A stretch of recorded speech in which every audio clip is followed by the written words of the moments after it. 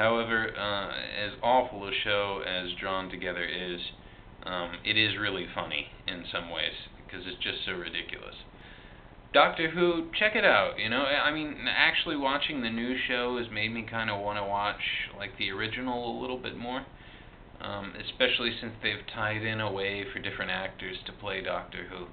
That's pretty cool. So you can see a lot of different people play the guy.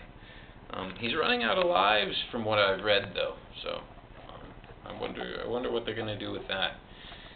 Um, let's see here. I got to go to this man-made beach uh, in um, in Wuhan uh, for work uh, one day.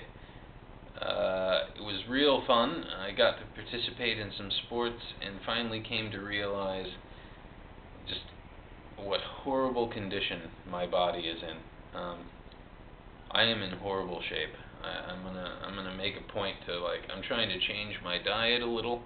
Uh, you know, get back onto you know a little more protein, less carbohydrates, which is kind of hard to do in China because of all the fucking rice. Um, and uh, you know that kind of stuff. Um, so, but but it, it was fun. Had a good time. Gorgeous women. Um, it, it was great.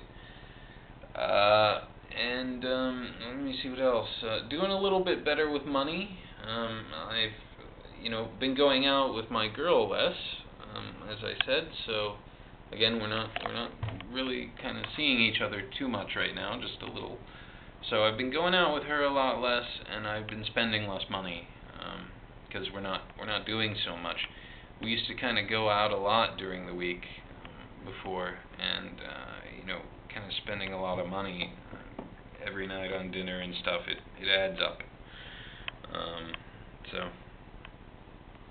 you know things and, and you know going to the movies and you know I, I've just been doing a lot less personally. It's not all just her.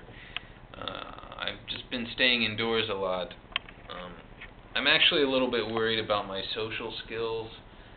Um, my social skills with my students are okay, but I'm in just kind of this weird mood now where I don't really want to be around anyone. I mean, pretty much the chair you see me sitting in now is the chair that I come and sit in right after work, and I stay here until I go to bed, and I try and avoid going out. You know, I think really I, I just don't like going out alone, especially at night. And it's kind of a big city. It's not always exactly safe.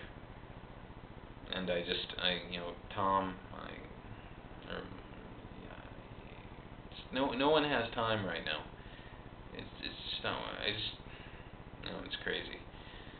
Um, let me see if I can think of anything else here. Uh, oh, uh, heard about a hurricane. A couple hurricanes hit my hometown, and, and that was that. That kind of sucked, from what I hear. Like, uh, sad that that happened.